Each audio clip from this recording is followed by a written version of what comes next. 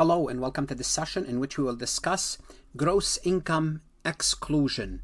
And we're going to look at several topics that deals with exclusion from gross income because in the absence of any specific information, all income is included. Included means taxable unless specifically excluded. Excluded means it's not taxable. So there are certain items that, that are not taxable and we need to discuss the rules for those.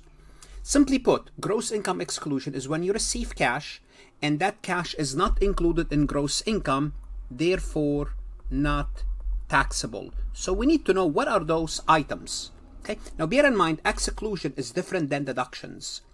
Deductions is when you make a cash payment or a non-cash expense. Basically, you can deduct something that's going to reduce your gross income. This is not what we are discussing. We are not discussing deductions. We are discussing when the cash itself not included in gross income. And specifically in this session, I'm going to be focusing on two topics, which are gifts and inheritances. Before we proceed any further, I have a public announcement about my company, farhatlectures.com. Farhat Accounting Lectures is a supplemental educational tool that's going to help you with your CPA exam preparation as well as your accounting courses.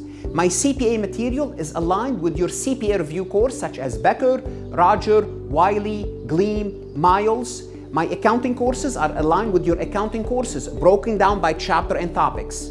My resources consist of lectures, multiple choice questions, true false questions, as well as exercises. Go ahead, start your free trial today. Starting with gift. What is a gift? Gift is the act of giving property or cash without any expectation of getting anything in return. So it's not an equal exchange. You're giving something, and maybe because you like the person out of affection, and you don't expect anything in return. That's the definition of a gift.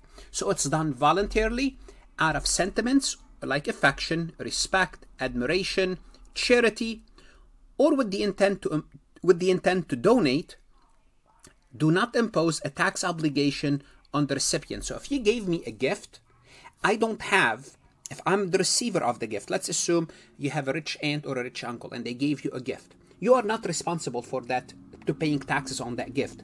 So the gift to you is tax free.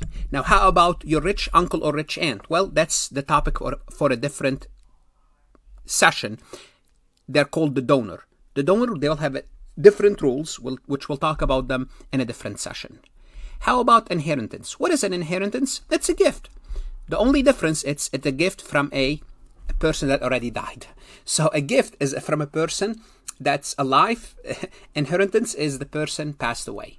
In terms of taxation, if you are receiving this money, beneficiaries, like if you are the person that's receiving the money from your rich grandma or grandpa, they passed away and left you some money, you don't need to pay taxes on what you inherit. And again, we'll talk about that topic later on. How about your grandma and grandpa? That's a different story. Now, bear in mind, any income generated from those assets or gift, let's assume they gave you a bond or a stock, and the bond pays interest. That's separate from the bond. Once you receive that interest, you'll have to pay taxes. Or if they give you a stock, the stock pays dividend. Well, guess what?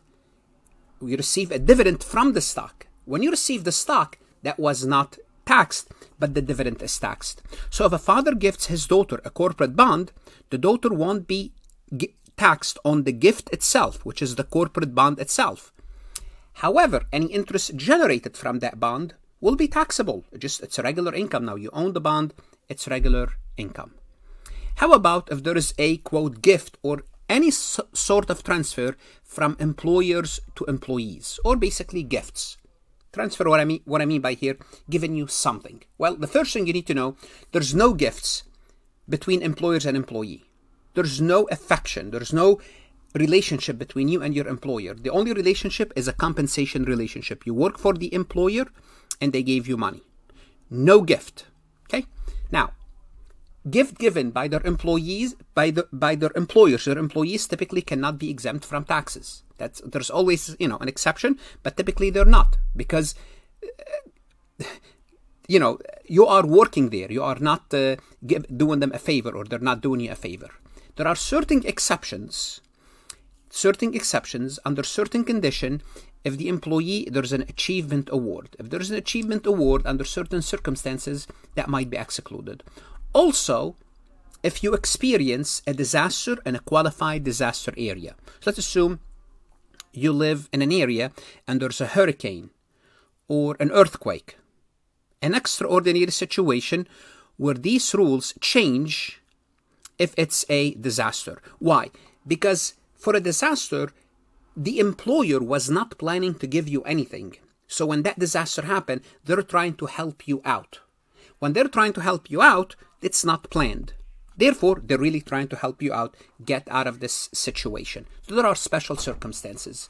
So if an employer compensate their employees for living costs, funeral expenses, or property damage incurred during a disaster, this payment may be excluded from the employee's gross wages. So under those circumstances, it's a different story. Why? Because now they are going above and beyond. They did not plan for this. They did not plan for this. How about employee death benefit? And what is that? Say, employee death benefit refer to the payment made by an employer to the surviving spouse. So if you work for a company and you pass away, the company might make a payment to your spouse, child, or other beneficiaries of the deceased employee. Okay, that could be some sort of a of a benefit. As being an employee, you have those employee death benefit. If the deceased employee had an irrevocable entitlement what does that mean? It means the employee already worked for the money. Okay? So simply put, we're dealing with unpaid salaries, unpaid salaries. These amounts are taxable. So if they're paying you, basically think of it as back pay. You already worked for this money, now you passed away, but there's a one month one month behind that they need to pay you. Well, guess what? If they're paying you for that, they're paying you for your effort, they're paying you for your work. And as a result, that amount is taxable. This means they must include that money in your tax return because you earned it. You earned this money. Just you did not get the cash, but you already earned it. Now, there are certain exclusion that employee death benefit could be excluded. Let's take a look at those exclusion. Okay, could potentially be a tax benefit, uh, tax exempt as a gift.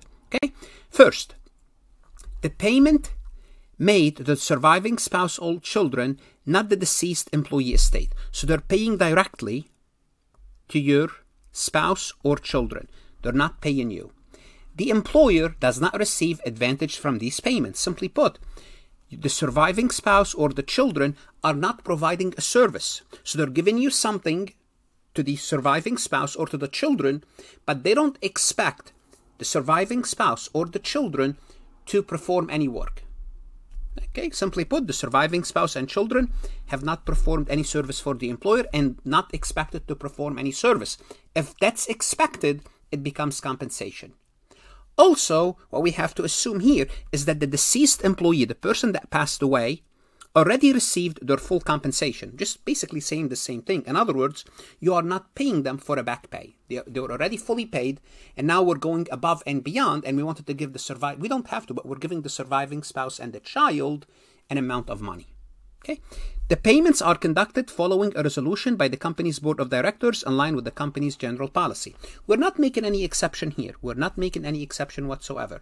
This is what we do. After the person dies, out of charity. We don't expect anything in return. We already fully paid them. We don't owe them anything, but we're gonna do this as a, in quote, a charity here. That's fine, as long as the con- these conditions are met. Let's take a look at a few examples that illustrate these concepts. Sam earned a $70,000 from his salary, Blue Design. Is that amount taxable? What do you think? Of course it is. That's as simple as compensation. It's taxable. As a reward of exceeding his performance goal, the company presented him with an all expense paid trip to Hawaii worth 5000 Well, is that taxable? And the answer is yes. There's no gift. They might call it a gift, but it's not a gift. It's basically you earned your compensation. You did well. No gifting between employers and employee, no affection, it's taxable. Okay? So now, simply put, we're talking about Sam, Sam will have 75,000 of taxable income. Let's look at Emily. Emily received 15,000 from her employer to assist with medical bills not covered in her insurance.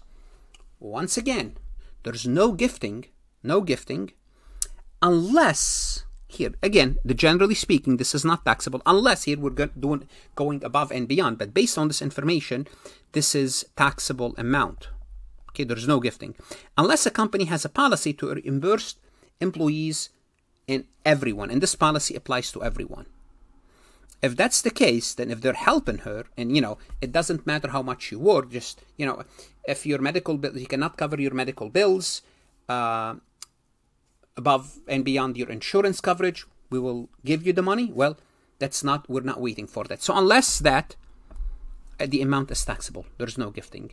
John received $20,000 from his deceased wife employers as a support during his time of hardship. Well, John's wife passed away. The employer paid John $20,000 for his time of hardship. They want to help him go through this time of hardship. What we have to assume here is the wife was fully paid. So the wife, before she passed away, there was no back pay. Assume the wife was compensated.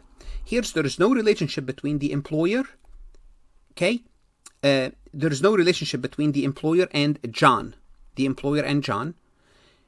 Therefore, this is a gift. We're giving you a gift. They don't have to do this. They're just helping you. There is no relationship between the employer and John, not the wife. There is a relationship between the employer and the wife, but the wife was fully paid. The, the relationship here between John and the employer, and the employer don't have to pay John, but they decided to do that. Well, that's a gift. And they don't expect, again, here we have to assume, they don't expect John to give them anything in return, to perform any work or do anything in return. Given those circumstances, it's a gift. The gift is not taxable. What should you do now? Go to Farhat Lectures, look at additional resources, multiple choice, true, false. That's going to help you understand this gift and inheritance concept. Whether you are a CPA exam candidate, enrolled agent candidate, or an accounting student, my resources can help you perform better in your college classroom and professional certification. Invest in yourself.